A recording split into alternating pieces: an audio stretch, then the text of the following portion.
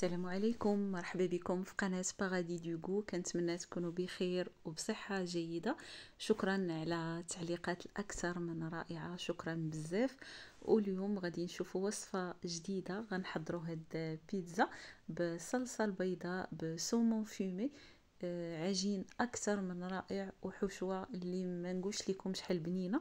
آه، صراحة النتيجة ديالها صدمتني بزاف. آه، عرفتها لاصوص زوينة ولكن ما توقعتش تجيب هاد البنة. اللي جات بها واحد البنة زوينة وزوينة بزاف يعني أي كلمة غادي نقول ما غاديش نوفيها حقها. العجين غادي نصوبوه بطريقة ديال التخمير البطيء كيعطي واحد النتيجة زوينة بزاف وكتجينا البيتزا خفيفة آه، بحال بيتزا نابولي. والصلصه غنديروها بالكريمة وبالجبن كتجي من ألذ ما يكون مع ال saumon fumé راه ما نقولش لكم نمشيو على بركة الله المقادير العجين. عندي هنا 200 غرام ديال الدقيق الأبيض و50 غرام ديال الدقيق الفينو أو دقيق القمح الصلب. يعني عندنا 250 غرام في المجموع ديال الدقيق اللي غنديروا بها هاد البيتزا اللي الحجم ديالها كبير. هنا إلا ما كانش عندكم الفينو ممكن تستغناو عليه غير أنا كنصحكم أنكم ديروا الفينو لأنه كيعطيها واحد كيعطي واحد الاختلاف في العجين. هنا غندير فقط نص معلقة ديال خميرة الخبز الجافة غادي نخمروها على خاطرها في الثلاجه هانتوما غتشوفوا معايا.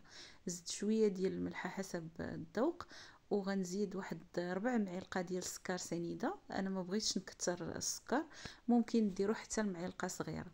وغادي نضيف الماء. أنا درت ما غير من الروبيني لأن الجو دابا دافي وبغيناها تخمر على خاطرها باش تجينا ديك العجينة اللي مجعبة آه، كما شفتوا في أول الفيديو غادي نضيفوا الماء بشوية بشوية. هنا ضفت كاس ديال العنبة وغادي نزيد مازال شوية ديال الماء. بغينا عجين اللي يكون مرخوف ماشي آه، قاصح نهائيا. عجين اللي كيلصق باليد بحال العجينة ديال الشفنج. أنا زدت هاد شوية ديال الماء تقريبا واحد ربع كاس. صافي هذا هو القوام اللي بغيت. عجينة اللي مرخوفة.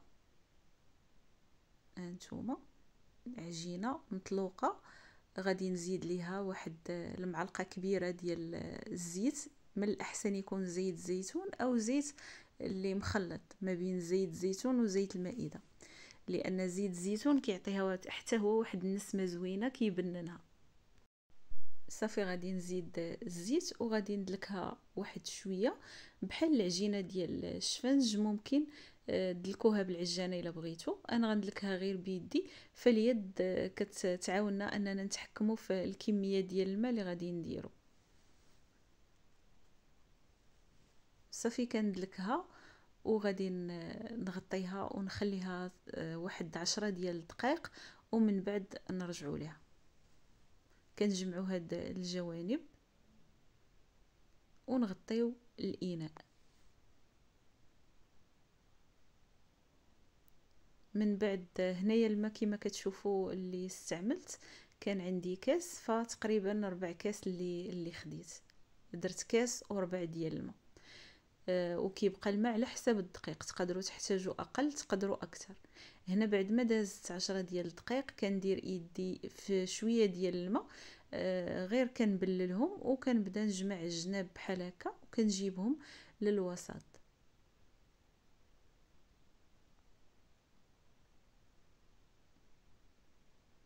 صافي وغادي نخليها نغطيها ونخليها واحد عشرة دقائق واحدة أخرى ونكرر نفس العملية قبل ما ندخلها للثلاجة هانتوما هنا راه بداو كيبانوا لينا الفقاعات ديال العجين. آه هنا عرفوا أنكم غاديين في الطريق مزيان.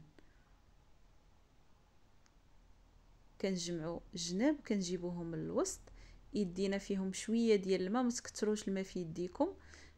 لأن العجينة راه واخدة الكفايه ديالها ديال الماء. صافي دابا غادي نغطيها ونخليها في الثلاجه تخمر على خاطرها.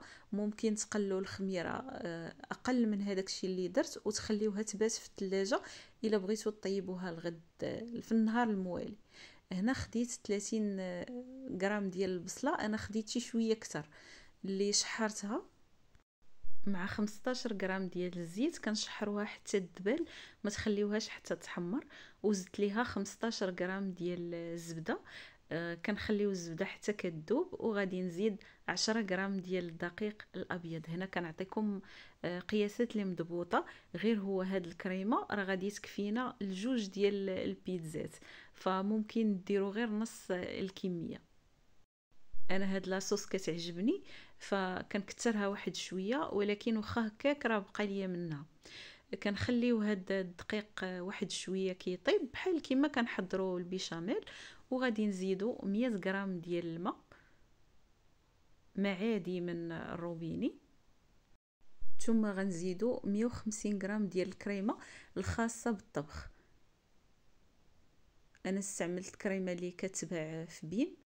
وغادي نزيد عشرة غرام ديال عصير الحامض. حتى هو كيلعب واحد الدور في هاد الوصفة. كيتواتى بزاف مع هاد المذاق ديال الحموضة كيتواتى مع السومو. وغادي نزيد شوية ديال الملحة وشوية ديال البزار. الملحة ما تكثروش لأن السومو مالح يعني غير شوية غير قريصة وتقدروا ما ديروهاش كاع لأن حتى الفرماج مالح. صافي كان نخليو هاد الكريمة حتى كتبدا تقال وغادي نزيد 120 غرام ديال الجبن الأبيض. يعني هاد البصلة كتلذذ لينا بزاف هاد لاصوص والجبن راه ما نقولش لكم كي كتسكي صافي كنخليو هاد الجبن يذوب والكريمة كتقال كتولي بحال البيشاميل. صافي كنطفيو عليها النار.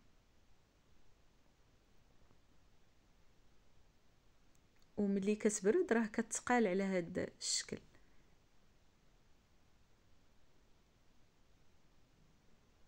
صافي غادي ملي توجد يعني تولي بحال البيشاميل غنطفيو عليها ونخليوها تبرد قبل ما نبداو آه، نخدموا البيتزا ديالنا. العجين أنا خليته في الثلاجه آه، خليته ثلاثة ساعات إلا ربع تقريبا. هنا عندي 100 غرام ديال saumon fumé أنا استعملت هذا. ممكن تستعملوا أي ماركة بغيتو.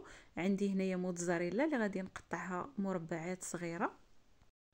وهنا الأساسي في الحشوة هو ال saumon و la sauce blanche والموتزاريلا. وممكن حتى جبن ايضام إلا بغيتو. وممكن تضيفوا اللي بغيتو يعني ممكن ندخلوا اللي بغينا في هذا على حسب الذوق ديالكم. أنا هنا عندي tomates cerises اللي غنقطعها حتى هي. كنقطع كل وحدة على جوج وغندير زيتون أسود. وهنا العجين بعد ما خرجته من الثلاجه خليته ثلاثة ساعات إلا ربع في الثلاجه وهنا غادي نرشو سطح العمل بالفينو. كثروا شوية الفينو لأن العجين مطلوق. أنا درت شوية ديال الماء فزقت يديا باش كان غنحيد العجين وممكن ديروا في يديكم شوية ديال الزيت عوض الماء. صافي غادي نكرر نفس العملية نجمع ليه الجناب نجيبهم للوسط.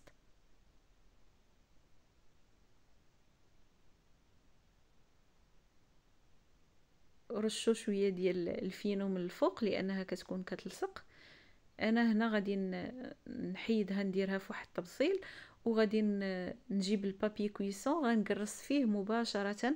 هو اللي غطيب فيه باش يجيني سهل أنني نهزها ونتحكم فيها لأني غنطيبها في واحد اللاطة اللي آه غادي نسخنها مع الفران. يعني آه غادي نهز هاد البيتزا نجرها بالبابي كويسون اللاطة مباشرة اللي في الفران. هنا كما كتشوفوا رشيت شوية ديال الفينو فوق البابي كويسون ونزلت العجين آه غادي نخليه يرتاح ونمشي نشعل الفران. ضروري الفران قبل ما نطيبو فيه يكون سخون مزيان وكندخلوها على نار عالية. هنا كنقرصو وإلا كانت يدينا كتلصق نرشو شوية ديال الفينو. ما نوصلوش للجناب. هادوك الجناب حاولوا ما تقيسوهمش بيديكم يعني نحافظوا عليهم باش كيبقاو منفوخين. وكيجيونا مجعبين. والعجينة غير رقوها لأنها كتنفخ في, الفران. أنا رققتها مزيان إلا الجناب. هنا الصلصة بعد ما بردات شوفوا كي بدات كتقال. وكل ما بردات غتزيد تقال أكثر إلا دخلناها للثلاجه فهي كت كتولي آه، جامدة. صافي هنايا دهنت العجين. أنا كتعجبني هاد لاصوص كنكثرها واحد شوية ولكن راه بقى ليا من هاد الكمية اللي اللي صاوبنا. ممكن آه، ديروها حتى في تستغلوها في لي بات لأنها كتجي لذيذة بزاف. هنا غناخد شوية ديال الزعتر يابس اللي سخنته في مقله كنحكو بين يديا. ممكن عوض الزعتر ديروا لا سيبولات إلى عندكم. هنا أنا جريت البابي ودرتها في لاطه مقلوبة باش ما يحبسونيش هذوك الجناب ديال لاطه ملي نبغي آه، نقليسيها في الفران يعني نحطها في اللاطه اللي كاينة في الفران. وإلا جاتكم أنكم تخدموا وحدة كبيرة صعيبة ممكن تقسموا العجين على جوج وديروا جوج ديال بيتزات صغار. هنا أنا حطيت القطع ديال ال saumon fumé هاد عندي 100 غرام هنا في هاد ال sachet ممكن ديروا أقل وممكن ديروا أكثر.